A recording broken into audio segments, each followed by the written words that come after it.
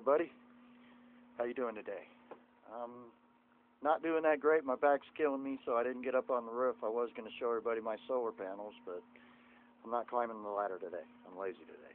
But I'm making this, uh, or getting ready to put this relay in.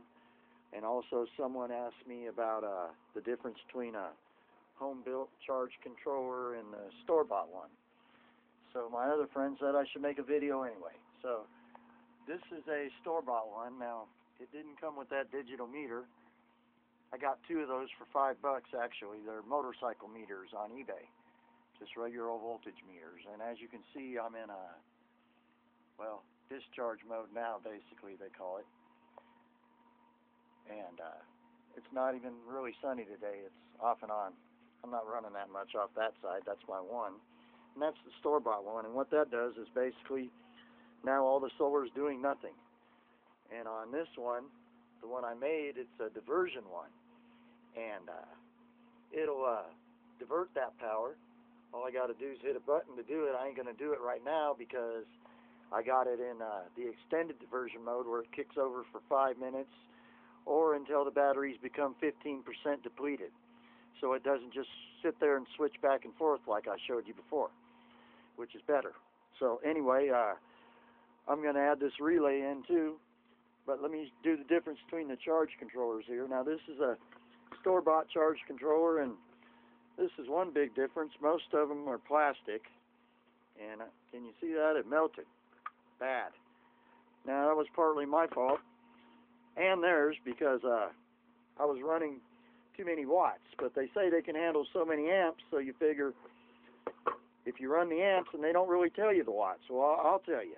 Most of these little things, that's all they are. They run about, it says 30 amps, but they only run about maybe 360 watts. And I got 600, so that that's what happened to it. It ended up melting the case and uh and another thing I don't like about these, these back here on the back, these are the heat sinks. And what the heat sink actually is, is this plate. Now look, it got so hot it melted that sticker back there. But it's this metal plate. Well, it bolts right up against your wall. So to me, that's not a good thing. As a matter of fact, when I put it on, I use spacers. And I would advise you to do the same if you're putting it up against anything that's flammable.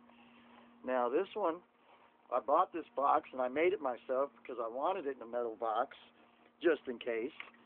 And uh, um, let's open it up here and I'll show you what's in it and the difference. Now you can build them any way you want, but uh, actually I could have got a bigger box. Just throw it on the ground. Okay. That's the inside of this one. Now, uh, I haven't got very good light, but I got a very good light here, so let me grab it. Hold on one second. Okay. Now, I could get decent light on it there without blinding everybody. But that's the inside of that one, and there's a, I don't know if you can see it right there, that black thing in the middle is a a built not a built-in heat sink. It's an add-on one. Now I don't have those wires normally running over it, but since I took the case off, that's what the wires are hanging on, holding that front case up. Now if you heard that click, it just kicked into diversion mode through that relay. And what I really like about this is the power comes in, you can't, it's hard to see, but over there, it comes in and then it goes up to the relay here. And when the relay kicks in, it sends that power through that white one over here to that little loop. And then that red wire going down is the wire going to my battery.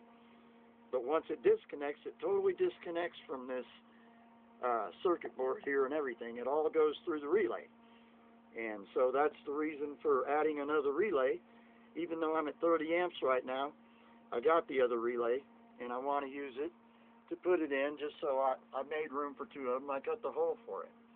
So now I can make it, just put this relay in right here, right next to it, and uh, and there we go. It'll be uh, just run them in parallel, where the solar's coming into both of them, and the and the thing I noticed, the trick thing I noticed too, that tab that's off, that's the uh, diversion load.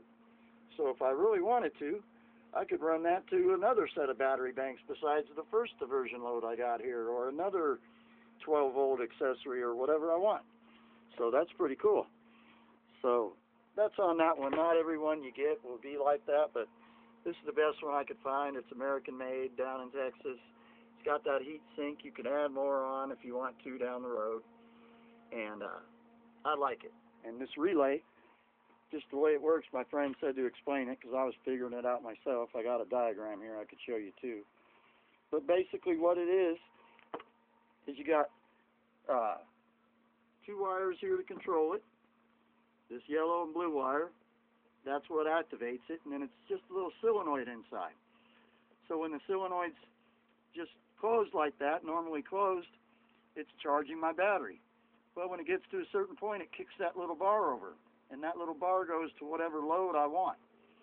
You know, it just goes elsewhere, so it just sends the power directly elsewhere, and by running two of them, it'll go through two of them every time I add one on. These things hold 30 amps, so that's another 30 amps. So uh, it's pretty cool. Now it says if you get over 60 amps, if you're actually pushing 63, which I'm not, but if you get there, maybe uh, add on bigger heat sink, and it's actually got a, some bars there to even add on more heat sinks.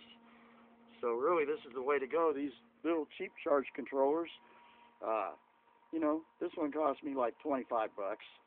But I mean, even for hundred bucks, that's basically what you're getting.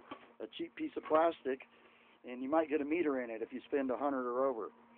Now this one's okay if you want to do what I did, and just get one and put the meter in. I had that one left over. It started failing me on my fridge side, so I took it off, and now it started working after that. I don't know what the deal was. So I'm using it on my second uh, battery bank. So anyway, I made this video long. I hope it was informative. And uh, yeah, here's the wiring diagram how I got it set up. My solar, it shows when. But it just comes right in here and then goes out to the solenoid.